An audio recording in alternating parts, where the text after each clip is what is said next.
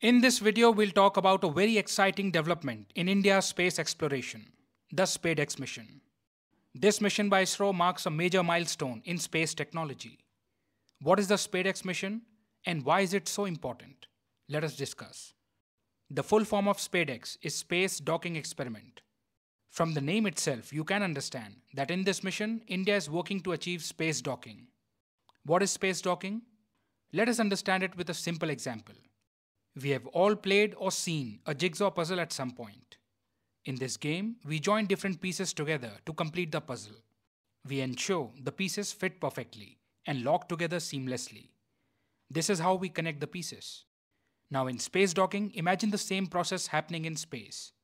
Instead of puzzle pieces, space vehicles are connected together. This is a very complex process because it takes place in a microgravity environment, hundreds of kilometers above Earth. Space vehicles moving at incredibly high speeds are slowed down with the help of advanced sensors and thrusters and are then connected with extreme precision. Space launches are very expensive, so there is no room for error. Everything must be absolutely perfect. In ISRO's SpadeX mission, space vehicles will be joined together after being perfectly aligned. This is India's first attempt to achieve space docking. If successful, India will join a select group of countries that have mastered this technology. At present, only three countries, the US, Russia, and China, have achieved this complex feat. Soon, India is expected to join this elite club. ISRO has launched two satellites from the Satish Dhawan Space Center located in Sriharikota. Both satellites have been placed in low Earth orbit with the help of a PSLV rocket. One of these is the chaser and the other is the target.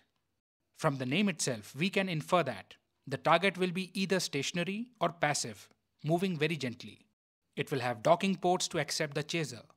The chaser will actively approach the target, using automated systems and thrusters to align precisely and finally connect with the target. The challenge lies in reducing the distance between the chaser and the target in a carefully planned manner to avoid collision and ensure a gentle connection. Because even a slight mistake could cause them to collide and be destroyed. As of now, ISRO has successfully placed the chaser and target satellites in orbit, and it is estimated that the final docking will take place on January 7. If space docking succeeds, it will be a groundbreaking achievement for India in space technology. But why is that? While it is true that this technology is very complex, the question arises why is space docking so important? What is its significance? Why is the SpadeX mission being called a stepping stone for India's future missions? Let me break it down. First, let us understand why this technology is required. Look, if we need to send huge and heavy equipment into space, we cannot launch it all in one go. There is a limit to the maximum payload that our current rockets can carry. If the equipment is heavier than this limit, it cannot be launched in a single attempt. Secondly, the heavier the payload, the more thrust is required to escape Earth's gravitational pull, which in turn demands more energy. This means a greater amount of fuel is needed. Additionally, structural constraints come into play. The larger the equipment, the more drag it creates, which can make the rocket unstable. Therefore, it is more efficient to launch the components in parts and assemble them in space. Launching them in parts makes the process safer, more controllable, and cost effective. This is why space docking is so important. To give you an example, space docking was used to build the International Space Station. Each piece was launched separately, and then these modules were assembled with the help of space docking. Be it laboratories, living spaces for astronauts, or even solar panels, all of these were launched individually. Once all this was done, the structure we call the International Space Station was completed. And look at it today. With the help of the International Space Station, we are able to conduct various types of experiments in a microgravity environment, observe Earth and space, and study how humans can work while staying in space for extended periods. This research supports missions to the Moon and Mars. All of this has become possible because of space docking technology. That is why India is also planning to build its own space station by 2035, named the Bharatiya Antariksh Station. It will consist of five modules, which will be launched one by one starting in 2028 and then assembled in space. To achieve this, mastering space docking technology is essential, making the SpadeX mission very important for us. Have you noticed how much planning our scientists put into advancing our capabilities? It is crucial that we all learn about and appreciate such extraordinary work. If we want to build an informed society, we need to bring such achievements into the spotlight. So, we were talking about the SpadeX mission. With its help, India will master space docking technology, which will enable us to build our own space station.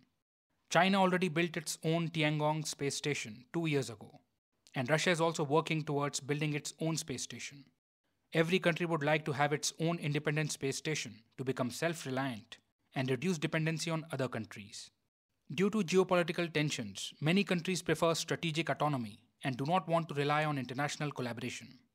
If we have our own space station, we'll be able to prioritize our specific research.